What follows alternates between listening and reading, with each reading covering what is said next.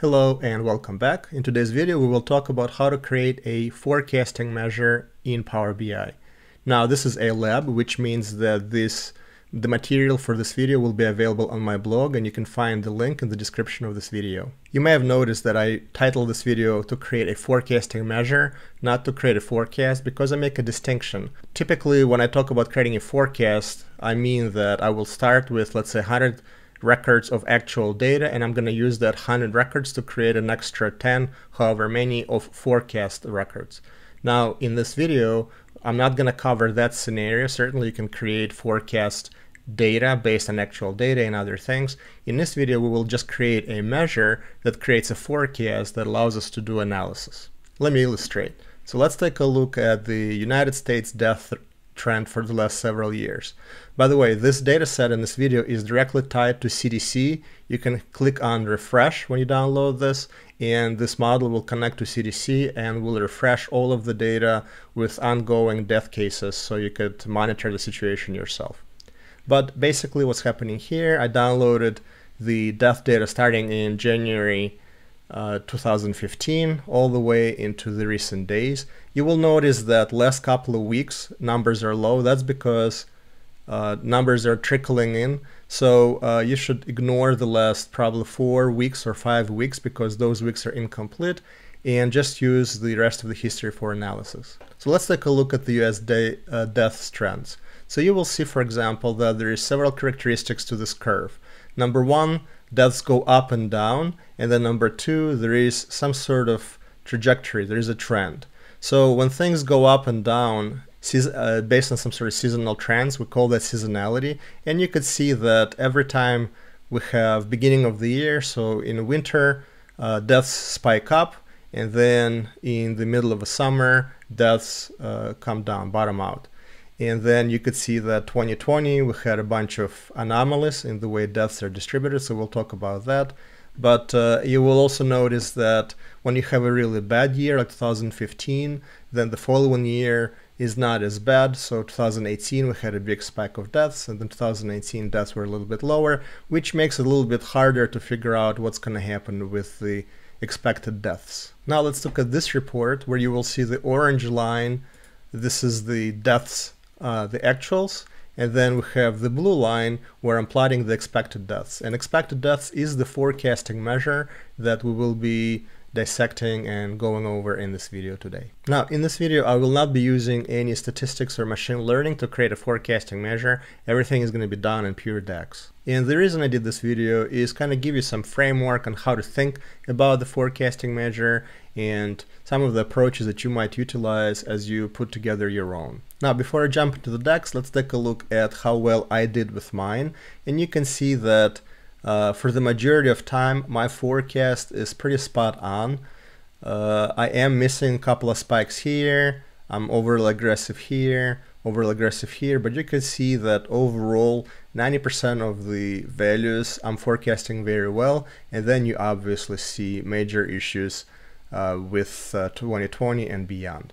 So you will also notice that my forecast is capturing the seasonality pretty well, and it's also capturing the trend right? So you see that my forecasted uh, or expected deaths kind of trend up and also I'm capturing the seasonality pretty accurately as well. So let's take a look at DAX and see what I had to do to implement that forecasting measure. And just very quick before I jump into DAX, this is what the model looks like. We have a fact table that has the history of all of the deaths and this table has uh, deaths by state and age group.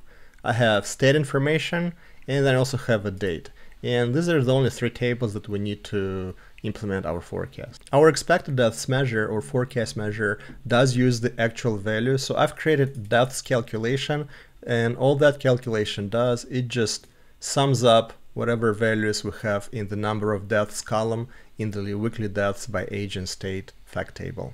Now this is the DAX for the actual expected deaths measure. You can see there's a lot of stuff going on. So what I will do is I will do it step by step. So if you're not a DAX guru, you could keep up and I will be flipping from here into DAX Studio and then showing you kind of what's happening and what the logic is. So let's take a look at this portion of the calculation in DAX Studio. For test purposes, I hard-coded the current week number as 25 and current year as 20. And the first thing that we do is we're creating a variable, variable same weeks prior to 2020.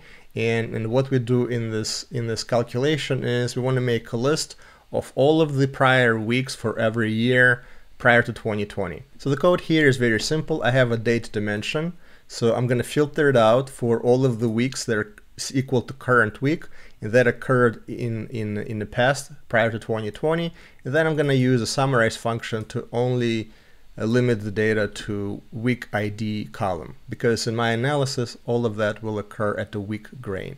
So after I run it, you will see that all I get is a table of prior five years starting 2015, 16, 17, all the way to 2019 and for week 25. The next step is I use a calculate table command and what I'm trying to do is calculate add a column with deaths to the weeks column so that I have both columns in my table. So this is this new variable here, deaths in the same weeks prior to 2020. In my calculate table, I'm gonna add a column and then add calculate deaths for for that column. So now that I've run it, you see that my new col my new table looks like this. I have column number one with all of the uh, weeks numbers, and then I have deaths calculated for every record in this table variable.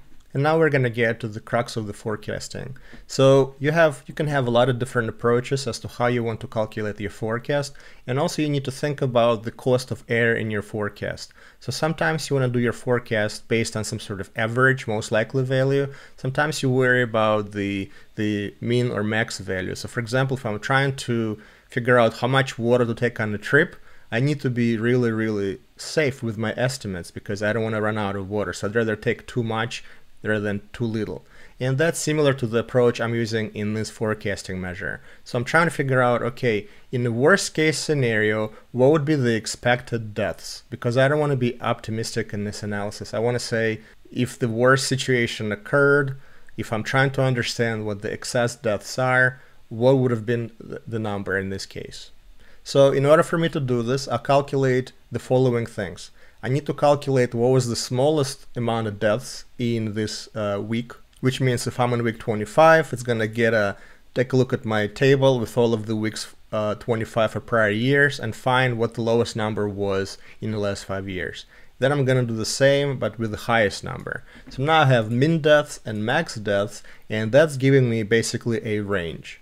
The other thing that I wanna do is I wanna calculate how many weeks I've had prior to 2020. I just want to make it a little bit more robust. Obviously, right now I know it's 5, but if data set changes, I don't want to hard code that number. So depending on the size of the data set, I just want to uh, calculate that and make it more flexible.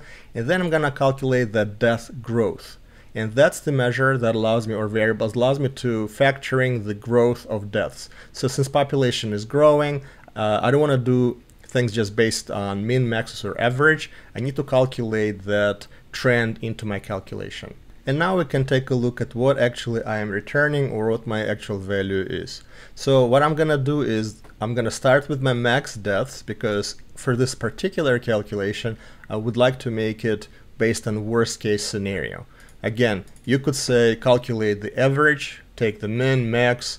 Uh, you could have different ways to go about how you want to calculate that forecasted value. And then I'm gonna add death growth and uh, that basically will bump it up a little bit based on uh, mean max and uh, how, how much does it go on average between mean and max. And then I have this other little thing here that allows me to go past 2020 and the reason I did that is because population kept growing past 2020. I'm only using history prior to 2020, so that's going to be pegged.